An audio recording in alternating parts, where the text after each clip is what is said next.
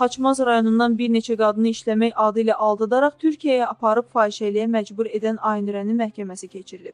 Oxu məni Az Qafqaz Infoya istinadən xəbər verir ki, 62 yaşlı Quliyeva 2017-ci ilin iyun ayında Xaçmaz rayonu Xudat şəhərindəki evində kirayədə yaşayan Gülərə Türkiyənin Merzifon şəhərində iş təklif edib.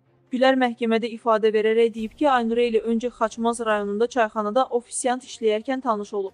Aynurə də həmin kafedə aşpaz işləyib. Mənə dedi ki, həmin şəhərdə Cəmilə adlı tanışı var, fahişəliklə məşğul olur və buna görə də uşağına baxa bilmir.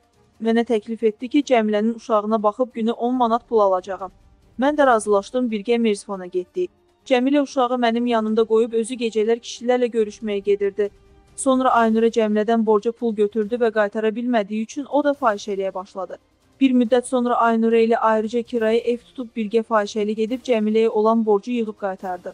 Gülər ifadəsinin davamında qeyd edib ki, bir müddət sonra Aynurə Xaçmaza qayıdaraq kafelərin birində xadimi işləyən Rəvanə və Aygünü də özü ilə Türkiyəyə gətirib. O qızları Yavuzun evinə apardı, onlardan xarici pasportları aldılar ki, itirməsinlər. Rəvanə ifadəsində bildirib ki, Yavuzun evinə getdikdən sonra həmin şəxs ora bir neçə kişini dəvət edib. Aynurə dedi ki, bu kişilərlə cinsi əlaqədə olmalısınız. Bizim ona 450 manat borcumuz var idi. Biz borcu ödəmək üçün gündə 8-10 kişi ilə əlaqədə olurduq. Amma Aynurə bizə 50 lira verirdi. Gülər əlavə edib ki, 10 gün onları istismar etdikdən sonra xarici pasportunu alaraq oradan gedib, lakin Rəvanə ilə Aygün Yavuzun evində qalıb. Kişilərdən nə qədər pul aldıqlarını bilmirdi. Bəzən mən hansısa kişi ilə cinsi əlaqədə olmaqdan imtina edirdim. Onda Aynurə məni danlayıb fikrimdən daşındırmağa çalışırdı. Bəzən də kişilər bizi bəyənməyib əlaqədə olmurdu. Mən pasportumu alandan sonra Azərbaycana qayıtdım.